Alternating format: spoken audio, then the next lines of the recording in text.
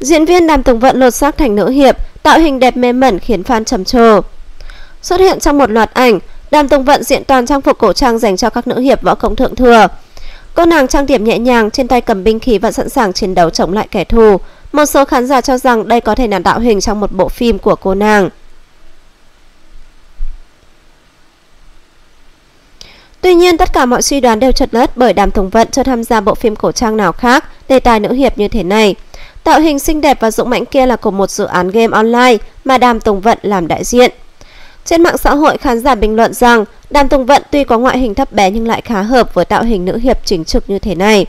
Một số người cũng bày tỏ hy vọng Đàm Tùng Vận, Trung Hàn Nương sẽ sớm tái hợp trong một dự án mới. Ngoài ra, khán giả cũng khen ngợi và dành nhiều lời khen có cảnh cho diễn viên Đàm Tùng Vận, bảo dưỡng nhan sắc khá tốt. Gương mặt tròn vừa là khuyết điểm mà vừa là ưu điểm của cô.